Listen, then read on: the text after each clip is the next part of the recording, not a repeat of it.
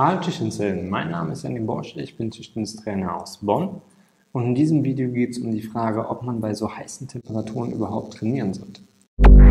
Tischtennishelden, conquer the table. Jetzt am Wochenende waren es 40 Grad in Deutschland teilweise. Die Hallen sind natürlich auch aufgeheizt und die Motivation eher niedrig, jetzt noch zu trainieren. Ähm, wie sehe ich das? Sollte man bei so heißen Temperaturen überhaupt in der Halle trainieren? Ich würde ganz klar sagen, ähm, wenn euch das Spaß macht und ihr richtig Lust aufs Tischtennis habt, macht es. Da gibt es auch gewisse ja, Einschränkungen, die man bei so einem heißen Wetter machen sollte. Ähm, wenn ihr aber absolut gar keine Lust habt, dann würde ich sagen, lasst es lieber, macht in der Zeit kurz Pause. Allerdings möchte ich zu bedenken geben, dass äh, wenn es so heiß ist, dass es dann meistens auch in der Sommervorbereitung ist, weil bei den meisten geht ja im August oder September die neue Saison los. Das heißt, gerade in dieser heißen Sommerphase ist eigentlich die beste Phase, wo man sich vorbereiten kann auf die Saison. Und deswegen würde ich euch schon empfehlen, da durchzugehen. Hey Leute, kurze Werbeunterbrechung nochmal in eigener Sache. Ich wollte nochmal auf meine Sommerlehrgänge hinweisen. Sommerzeit ist Vorbereitungszeit. Ihr könnt mich buchen. Ich komme deutschlandweit zu euch in euren Verein und mache da mit euch einen Eintages- oder Zweitageslehrgang. Es ist kein Problem, wenn die Gruppe gemischt ist zwischen Erwachsenen und Kindern und auch ein unterschiedliches Spielniveau. Ich werde auf jeden einzelnen eingehen. Ähm, ich habe immer sehr gutes Feedback bekommen von meinen Lehrgangsteilnehmern, dass sie dadurch viel gelernt haben. Und auch was die Themen angeht, da kann ich ähm, einfach mit euch das zusammen ausarbeiten vorher, was ihr für Themen, Themenschwerpunkte haben wollt. Dann können wir das gerne machen. Schreibt mir doch einfach eine E-Mail an info@tthelden.de mit euren Daten, woher ihr kommt, wie groß die Gruppe ist, wann eure, euer Wunschtermin ist und dann mache ich euch auf jeden Fall ein individuelles Angebot. Also, wir sehen uns bei euch. Macht's gut! Allerdings würde ich schon das Training so anpassen, ähm, dass es auch bei den heißen Temperaturen auszuhalten ist.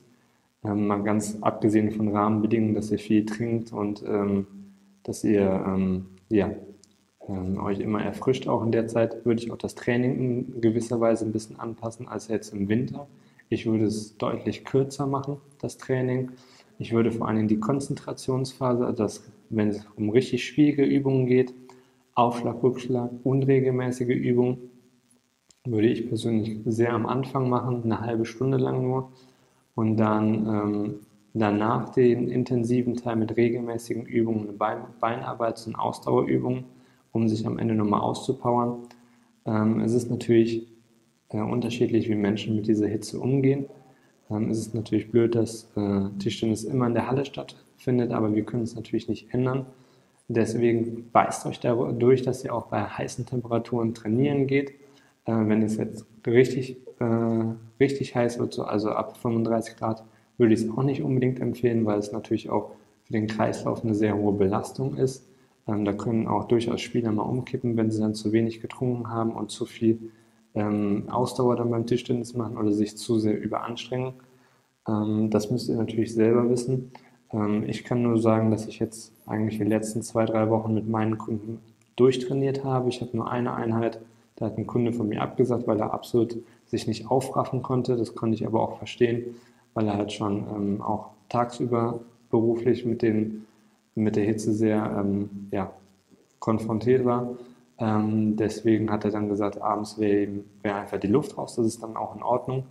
Ansonsten konnte ich eigentlich mit meinen, mit meinen Spielern, die ich trainiere, sehr gut trainieren, auch bei den heißen Temperaturen. Man merkte natürlich, dass man mehr Pausen brauchte, einfach viel mehr trinken musste. Aber im Großen und Ganzen geht es auch, dass man bei ähm, heißen Temperaturen ähm, trainieren kann, vor allen Dingen auch mal sich auszupowern. Das tut auch ganz gut. Mhm grundsätzlich ein kleiner, ähm, kleiner Erfahrungswert noch. Ich meine, dass man in den Sommermonaten beim Training besser in einen Tunnel kommt. Also was ein Tunnel ist, wisst ihr, dass man sich da voll auf den Sport einlässt und keine anderen Gedanken mehr hat.